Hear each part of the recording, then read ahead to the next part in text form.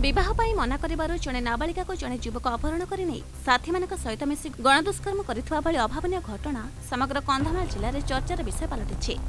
ବାଲିଗୁଡ଼ା ଥାନାରେ ଏତଲା ହେବା ପରେ ପୁଲିସ ଘଟଣାର ତଦନ୍ତ କରି ଚାରି ଜଣଙ୍କୁ ଗିରଫ କରିଛି। ସୂଚନା ଅନୁଯାୟୀ ଫୁଲବାଣୀରେ ରହୁଥିବା ଜଣେ ନାବାଳିକାର ବାଲିଗୁଡ଼ାର ଜଣେ ଯୁବକଙ୍କ ସହିତ ବିବାହ ସ୍ଥିର ହୋଇଥିଲା କିନ୍ତୁ ନାବାଳିକା ଜଣକର ବୟସ କମ୍ କାରଣରୁ ବିବାହ କରିବାକୁ ରୋକଠୋକ ମନା କରିଦେଇଥିଲା।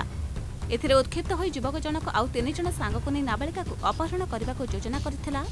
ଦୁଇ ଦିନ ତଳେ ଏକ କାର୍ ନେଇ ଯୁବକ ଫୁଲବାଣୀରେ ପହଞ୍ଚି ଘରେ ଏକୁଟିଆ ଥିବା ନାବାଳିକାକୁ ବଳପୂର୍ବକ ଟାଣି ନେଇ କାର୍ରେ ବସାଇ ଦେଇଥିଲା। ତେବେ ବାଲିଗୁଡ଼ାର ସିଟି ସ୍କୁଲ ଯିବା ରାସ୍ତାରେ ନିରୋଳା ସ୍ଥାନ ଦେଖି ନାବାଳିକାକୁ ଗଣ ଦୁଷ୍କର୍ମ କରିଥିଲେ। ଏଣେ ଝିଅକୁ ଘରେ ନ ପାଇ ପରିବାର ଲୋକେ ଖୋଜାଖୋଜି ଆରମ୍ଭ କରିଦେଇଥିଲେ।